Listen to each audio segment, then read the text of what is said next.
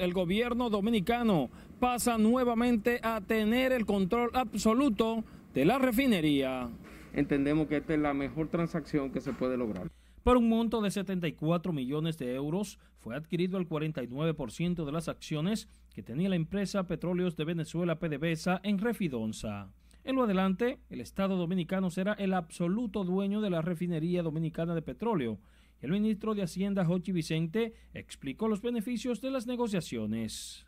Con esta transacción, al ya eh, PDVSA no estar en el capital eh, de la empresa, la empresa entonces pues, puede tener acceso a crédito que antes lo tenía limitado por eh, los bancos internacionales que al tener a un accionista con esta situación no le permitían acceder a crédito aseguró que la adquisición del 100% de las acciones de Refidonza por parte del Estado dominicano no afecta a las relaciones comerciales con Venezuela, tras explicar que la transacción no tendrá ningún impacto en el precio de los combustibles. La acción le beneficia en algo porque el gobierno está adquiriendo las acciones de una empresa que es rentable y que provee eh, beneficios para el Estado a través de los dividendos.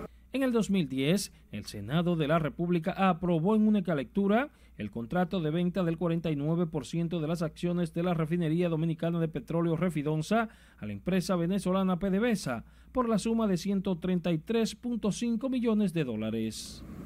La transacción se realizó en coordinación con los gobiernos de Venezuela y los Estados Unidos para asegurar de que no exista ningún tipo de sanción.